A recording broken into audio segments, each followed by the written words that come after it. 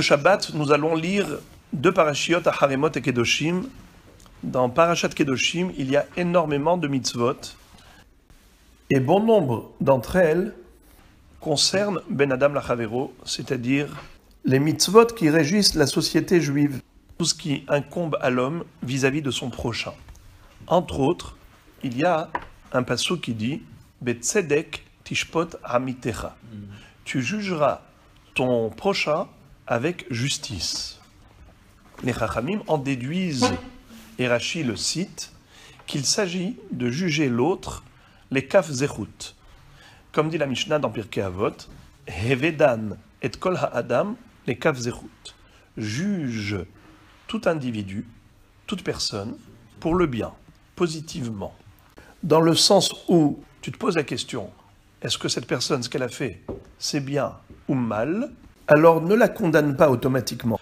Fais plutôt basculer ton jugement du côté positif, en la jugeant favorablement. À ce propos, la Gemara dans ma Sechet Shabbat, Daf Kuf Zain, nous raconte une histoire extraordinaire.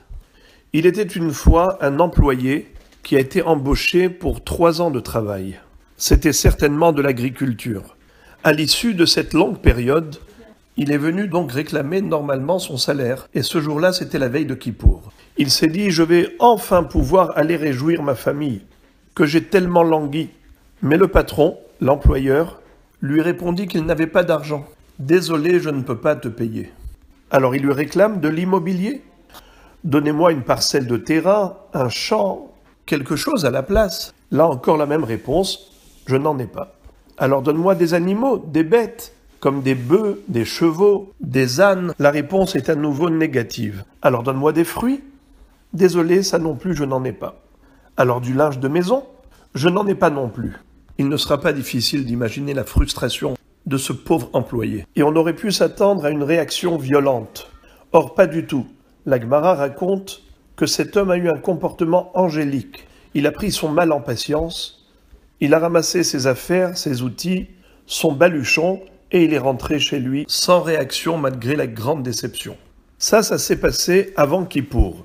Mais la Gemara raconte que juste après Sukkot, le patron frappe à la porte de son employé avec une grande pochette d'argent dans laquelle se trouvaient trois ans de salaire, plus en cadeau trois ânes chargés de provisions alimentaires, de boissons et toutes sortes de friandises.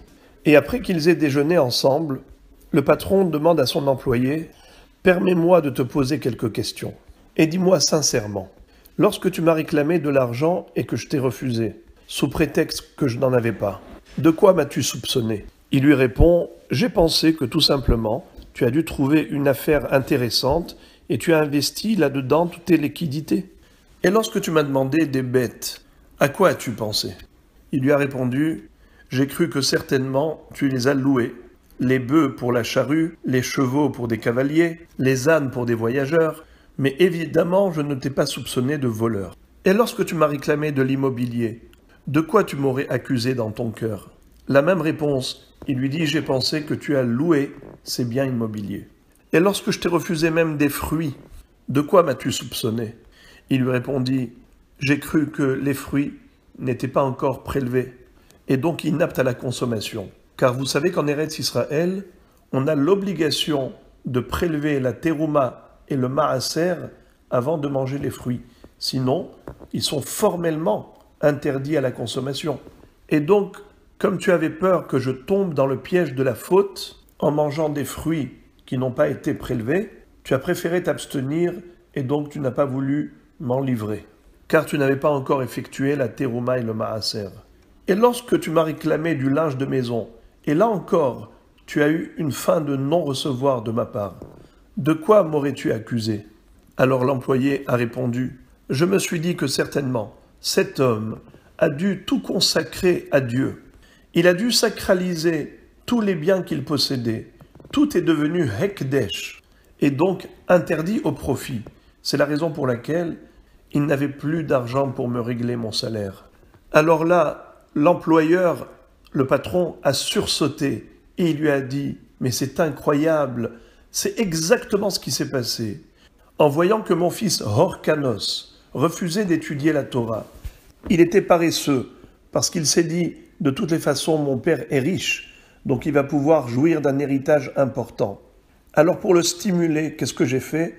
Je lui ai montré que j'ai sacralisé tous mes biens et que finalement il ne pourra pas profiter de mon patrimoine. C'est la raison pour laquelle je ne pouvais rien te donner. Mais lorsque j'ai été chez les Hachamim, dans le Darom, ils m'ont fait Atarat Nedarim, l'annulation des vœux. Et ainsi j'ai pu récupérer la totalité de mes biens. Et maintenant je te remercie pour ta loyauté et je t'adresse une bénédiction. Il lui a fait la bracha suivante. De la même façon que tu m'as jugé favorablement, ainsi que du ciel on te juge toujours positivement. Et comme le confirme d'ailleurs la Gemara, que c'est la règle générale, Kol hadan havero le danin oto le De cette histoire, nous apprenons que pour exercer cette notion de juger l'autre favorablement et positivement, il faut faire l'effort d'aller chercher loin dans son imagination, afin de trouver toujours des circonstances atténuantes, même si l'autre a adopté un comportement qui pourrait paraître absolument négatif. Mais la question se pose, comment peut-on arriver à un tel niveau? Comment est-ce possible qu'un être humain normalement constitué puisse arriver à juger l'autre avec autant de faveur et de compassion? Est-ce que ce n'est pas utopique, surréaliste? Pour y répondre et expliquer, on va puiser d'un autre sujet de cette même paracha, où nous retrouvons la règle générale de tu aimeras ton prochain comme toi-même, n'est-ce pas? Et la Torah, quand elle nous enseigne cela, elle va d'abord introduire la mitzvah de ne pas haïr ton frère dans ton cœur.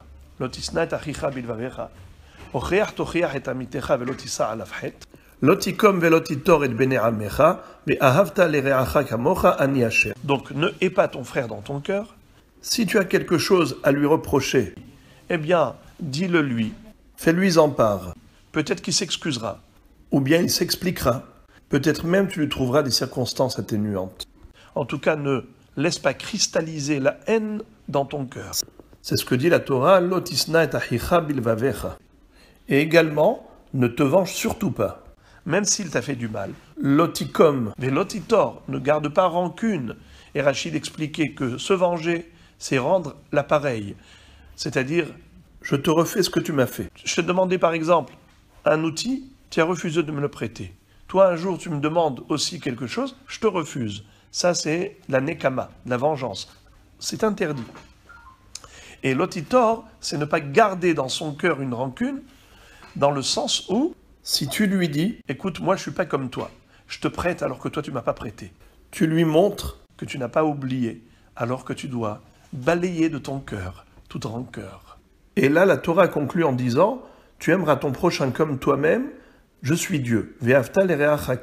ani Hashem. Et la question est de savoir quel est, en fait, le lien direct qu'il y a entre ces différents psukim. Alors, premièrement, ne pas se venger. Le Yerushalmi, le Talmud Yerushalmi, nous explique que ne pas se venger d'un juif, c'est d'une logique absolue. Pourquoi est-ce que c'est si évident? Pourtant, l'être humain, de par sa nature, souhaite la vengeance. Mais imaginez-vous le cas suivant. Quelqu'un s'est trompé au moment où il a pris le marteau pour clouer, il s'est donné un coup sur la main, sur l'autre main. La main droite qui a voulu donner un coup sur le clou, en fait, elle a donné un coup sur le doigt de la main gauche. Est-ce qu'on peut imaginer que la main gauche maintenant se mette en colère contre la main droite, qu'elle reprenne le marteau et se venge? En disant Maintenant tu vas sentir de quel bois je me chauffe. Boum, moi aussi je vais te casser le doigt. Est-ce que ça peut exister? Évidemment que non. C'est tout juste impossible. Pourquoi? Parce que c'est toi-même cette notion-là de l'otitor binamecha. Pourquoi? Parce que tu dois aimer ton prochain comme toi-même. Et pour quelle raison? Pourquoi est-ce qu'il est précisé ici Ani Hashem? Je suis Dieu qui est la source de toutes les âmes, de toutes les neshamot. En réalité, qu'est-ce qu'un être humain? C'est une composition de deux éléments. Il y a le corps qui n'est qu'une enveloppe charnelle, c'est l'habit de la Neshama. Mais la Neshama, c'est quoi? C'est une lumière divine. Ner Hashem Nishmat Adam, Hofes kol hadre baten. La Neshama, l'âme humaine, c'est une lumière divine, comme dit le Pasuk. Et comme dit également Iov, Helek Eloah Mimal, c'est une particule divine. Donc, faut le savoir, qu'à l'origine, toutes les Neshamot proviennent de la même source, proviennent d'Hachem. Donc, nous, on est séparés par rapport au corps. Qu'est-ce qui fait la séparation entre nous? C'est le fait que nous soyons des corps différents.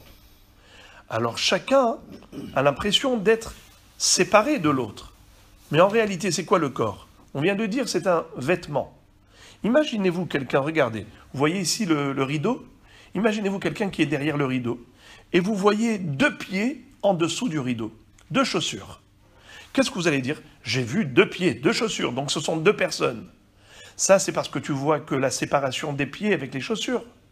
Mais retire le rideau, tu vas voir que en haut, ces deux pieds sont reliés au même corps, à la même personne. Donc au niveau Rolamazé, on est séparés physiquement.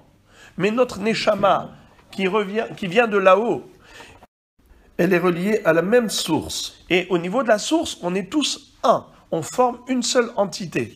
C'est pour ça que la Torah va dire Lotikom velotitor et beneramecha.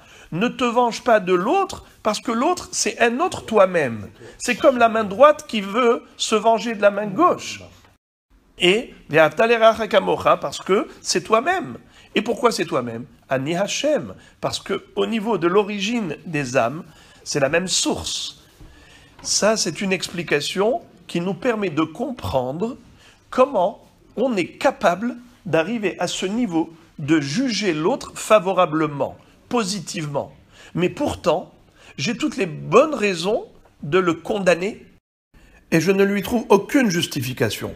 Mais c'est très simple. Si tu considères l'autre comme toi-même, dis-moi, quand toi tu fais des choses qui sont un peu douteuses, comment tu te juges toi-même? En réalité, qu'est-ce que tu fais? Tu te focalises sur tes 99% de qualité et juste 1% de défaut, donc tu es positif. L'autre, il voit chez toi 99% de défauts et peut-être 1% de qualité. Mais toi, pour toi, c'est le contraire. Tu ne vois que des qualités et ton défaut, ah, c'est un petit péché mignon. Ça veut dire que quoi? Tu vas te chercher des circonstances atténuantes, tu vas trouver des prétextes pour justifier ce que tu as fait. Tu vas toujours te donner raison, n'est-ce pas? Quand est-ce que la personne reconnaît qu'elle est en tort? Ça lui arrive peut-être deux fois par siècle. Donc lorsqu'on veut relativiser, on considère autrement la réalité. Si tu considères que l'autre, c'est toi-même, eh bien de la même façon que tu aimes qu'on te juge favorablement, tu feras la même chose pour l'autre. Je conclurai en rapportant une autre explication. Pourquoi cette mitzvah d'aimer son prochain est suivie de ces deux mots? Ani Hashem. Je suis Dieu.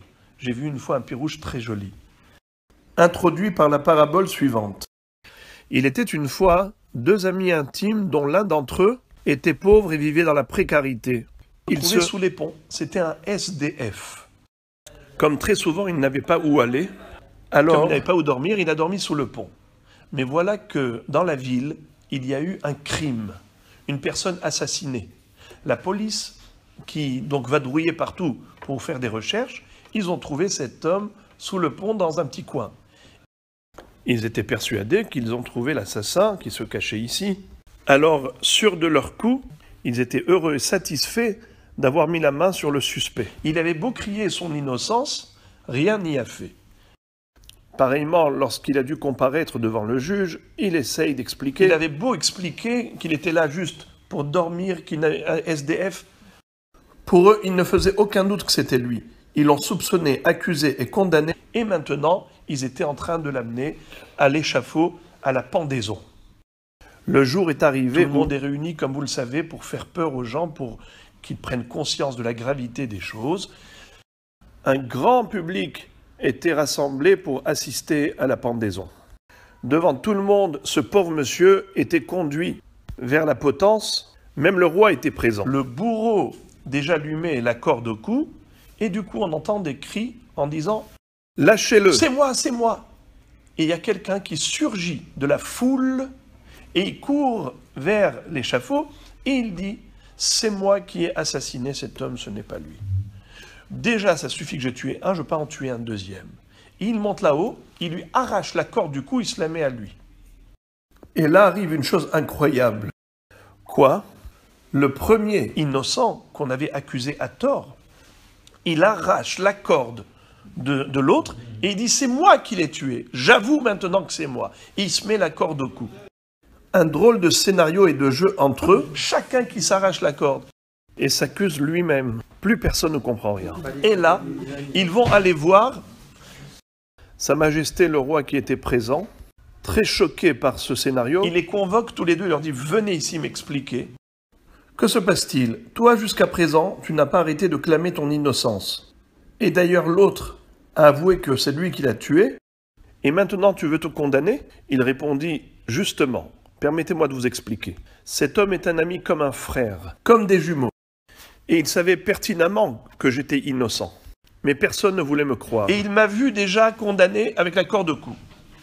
Mais comme il m'aime tellement, il a préféré mourir à ma place.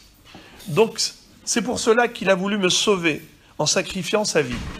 Mais moi également, je ne pouvais pas supporter l'idée que mon ami soit mort à cause de moi. C'est la raison pour laquelle j'ai préféré dire que j'étais coupable plutôt que de voir mon ami mourir à cause de moi. Alors, épaté, le roi va leur dire, si c'est comme ça que vous vous appréciez, vous admirez, vous vous aimez, je vous demande une chose, je voudrais faire partie de votre clan. Désormais, on sera trois amis. Parce qu'une telle amitié, une telle fraternité, c'est du jamais vu. Donc, je voudrais faire partie de votre association, de votre société. Akadosh si vous jugez favorablement les uns les autres, vous ne gardez pas de rancune et surtout pas vous ne vengez pas. Et vous aimez l'un, vous aimez l'un l'autre comme vous-même. Désormais, Ani Hachem, moi aussi, je voudrais faire partie du clan Israël et je résiderai et je régnerai au sein du peuple juif pour qu'il réussisse à la perfection dans tous les domaines et surtout pour une Géoula Shlema.